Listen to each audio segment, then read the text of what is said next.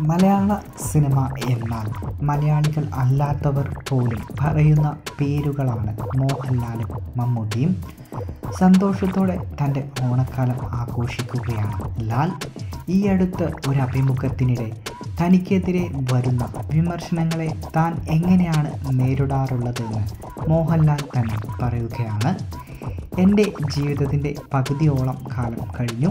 ഇനി മറ്റുള്ളവരെ പേടിച്ചോ അവരുടെ വിമർശനങ്ങളെ പേടിച്ചോ ജീവിക്കാൻ പറ്റില്ലെന്നാണ് മോഹൻലാൽ ഏഷ്യനെറ്റിന് നൽകിയ അഭിമുഖത്തിനിടെ പറഞ്ഞത്.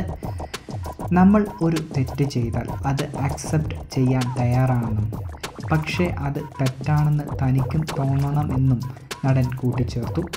വിമർശനങ്ങളെ താൻ ഗൗരവമായി എടുക്കാറില്ലെന്നും എല്ലാ ദിവസവും അതിന്റെ മുകളിൽ തന്നെ ഇരിക്കേണ്ടി വരുമെന്നും അവയെ ശ്രദ്ധിക്കാതിരിക്കാനേ പറ്റുകയുള്ളൂ എന്നും മോഹൻലാൽ പറഞ്ഞു.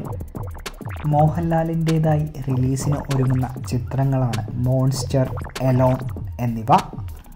രണ്ട് സിനിമകളുടെ പോസ്റ്ററുകളും ഓണത്തോട് അനുബന്ധിച്ച് പുറത്തിറങ്ങിയിരുന്നു.